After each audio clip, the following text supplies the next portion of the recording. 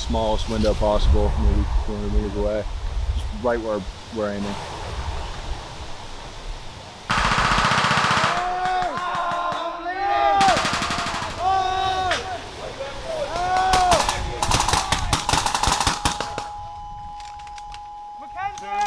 Yes, sir! Boss, push left to me. Hey, get me in the Safety Hey, field. get over here. count. 130.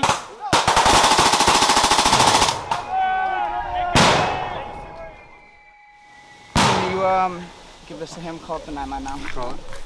Volume speed 6. Yeah, is that like you got anything? Axel, this is 16 Romeo. Training 9 line to follow. Over. For distance. Axel, this is 16 Romeo. Training 9 Yeah. line to follow. Over. One one. Do you have the casualty out there yet? Roger. I'm switching, o- switching over to battalion net. I'm gonna put. A MASCAL event, it's an event where there's multiple casualties happening at the same time. Usually these casualties will be brought to a casualty collection point or CCP, and we will go to these CCPs uh, and bring back these casualties to the battalion aid station to triage and treat these these casualties based on the acuity of their injury uh, or their wound. Yeah, what's going on here? Just a laceration of cancer. Just a laceration. Do a full assessment on him, please. Yep. Have you laid out Hey, two on the first litter. Specialist, oh right, specialist, all right. Yeah, I want you to call right now. As soon as We experienced a mass casualty event on one of our lanes. Our company took fire. Um, our line medics reacted.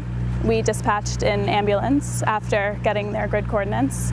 And when they got back here, we triaged, treated, and then evac'd back to the higher echelon of care.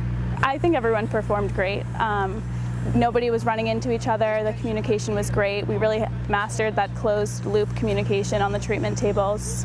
Uh, medications were being given, blood was hung. That all takes, those are all higher level skills that take a lot of communication. Um, and our evac was safe, all the litters, all the carries were safe. Um, they were strapped in correctly. So starting from the lowest down, like safety was our priority, and I think that we definitely executed that.